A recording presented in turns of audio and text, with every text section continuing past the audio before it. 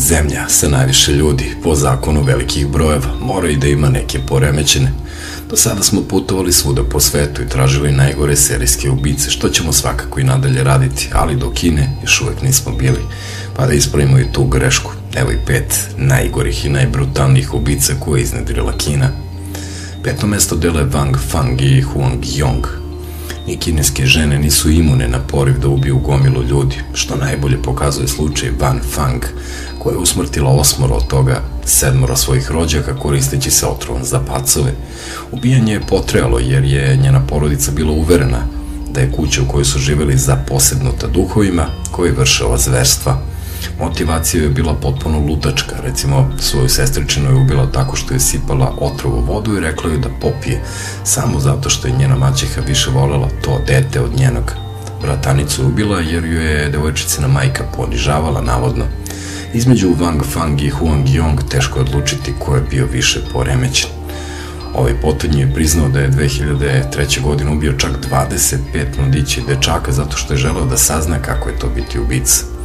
Ovi mladi momci su bili mete jer je računao da su stariji previše oprezni, a ubijanjem žena ne bi izgledao kao heroj. Žrtve je po internet kafejima i igraonicama mamio navlačio u svoj dom obećanjem posla ili plaćanjem školovanja, posle čega bi ih vezivao za mašinu za nudle i onda gušio krpom. Njihove kajševe je kasnije čuvao kao suvenir. Otkriven je tako što je poslednja žrtva ipak uspela da pobegne. U njegovom stanu pronađena su tela 12 dečaka. Suđenje je trajalo samo 3 sata i osuđen je očekivano na smrt. Broj 4. Song Jing Hu koji je između 2005. i 2007. ubio devet žena u Pekingu samo zato što su ličile na bivšu devojku njegovog brata, zbog čega mržnja prema njoj svedočila je protiv njih za slučaj ubistva. Brat je osuđen na smrt, a on kao maloletnik na 8 godina robije. Kada je pušten, vratio se u rodni grad, gde je počeo sa zverstvima, mameći žene za koje mislio da bi mogle da budu ona koju traži. Kako se broj žrtava povećavao, iznajmio je stan zajedno sa Yang Jingguang, koju je tek upoznao i koja je mislila da je pametna ideja da mu se priključi u ovoj akciji.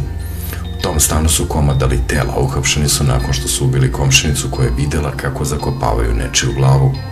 Zanimljivo je da sve serijske ubice, nebitno da li kineske ili neke druge, imaju jednu zajedničku stvar, potpuno su ludi i zbog toga više nećemo ni pominjati da su ludi jer ste do sada to verovatno i sami shvatili. Uzmimo na primjer broj 3, Lia Ping Ping, koji je kao taksista ubijao prostitutke zato što je mislio da one zarađuju novac lakše nego njegova branša, ali zašto bi se ograničio samo na prodavačice sifilisa, kako bi ih nazvao James Joyce, Ubio je bivšeg šefa, njegovu ženu i čerku, jer ga je otpustio 8 godina ranije. Usput je postavio požar u nečiju kuću, po znacima navoda, vredan kao pčelica. Lista serijskih ubica iz Kine nije lista serijskih ubica iz Kine ako se na njoj ne nalaze barem dvojica taksista. Drugi je Zhu Peng, koji je počeo da ubija jer mu je supruga abortirala i to bez njegove dozvole. Ubio je šest žena, najčešće mušterije i to davljenjem, a njihove leševe baca u bunare van grada. Jednu žrtvu je lišio života jer je htela da počne aferu sa njim da bi se navodno osvetila mužu.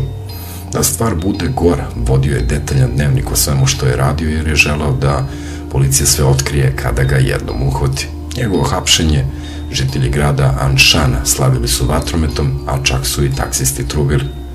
Konačno za kraj smo ostavili ono najstrašnije, ne zbog metode, već zbog meta. Broj 1 Gong Rumbo između marta 2005. i aprila 2006. godine mamio je napastvao i ubio šestoro dece u provinciji Heilong Jiang. Ovaj jezivi monstrum je još petoro silovao, ali ih nije ubio. Sva deca su bila starosti između 9 i 16 godina. Uhapšen je u internet kafeu gde je tražio žrtve 28. februara 2006. pošto je jedan dečak pobegao iz njegovog stana i pozvao policiju. Kod kuću se su mu se nalazila i dalje četiri tela u fazi raspadanja kao i dečija odeća, razbacane kosti i preko 10 pari njihove obuće.